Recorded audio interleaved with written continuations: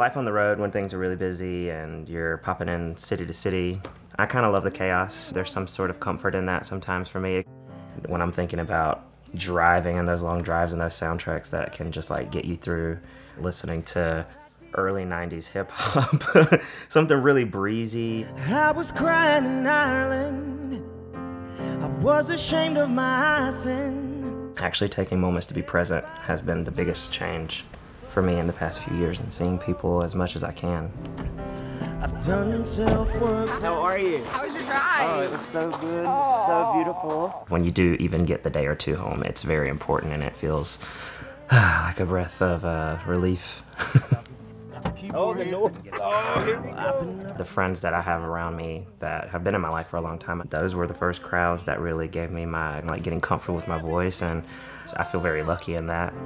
But not a thing they need. Holidays come with immediately nostalgia, and, and whatever those memories may be, there's usually a way to wrap music within it, and that's as simple as having great food, listening to great music, finding warmth and comfort, and loving each other.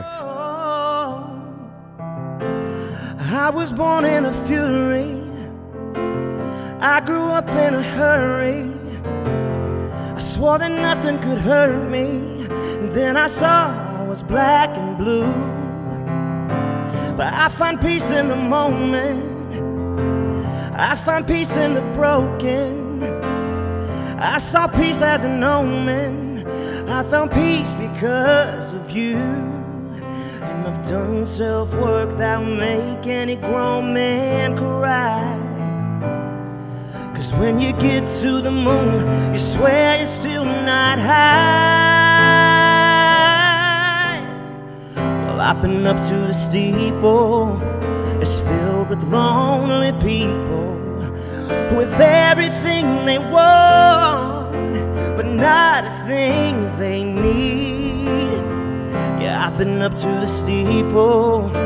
It's filled with empty people whose lives look like a dream, but they're dying underneath. Oh, Oh, oh, oh. oh.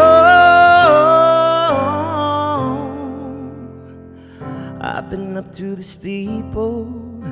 It's filled with lonely people with everything they want, but not a thing they need.